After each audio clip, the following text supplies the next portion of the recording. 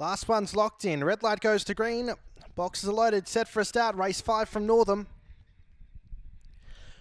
Ready. Racing. Ronnie Ranger was midfield, showing speed. Tinkle Ripple mustering through Ronnie Ranger, Candlelight Jazz. Then followed by Bondi Manelli, Athena Gill. Well back was Zulu Buddy, and at the tail of the field would have been Smirch Birch. Up in front, Candlelight Jazz to the inside. Ronnie Ranger switches off heels down the straight. Candlelight Jazz, a half length Ronnie Ranger. Third Smirch Birch from Athena Gill, Tinker Ripple. Then followed by Zulu Buddy. Well back was Bondi Manelli and Nitro's Ruby. The time 1748.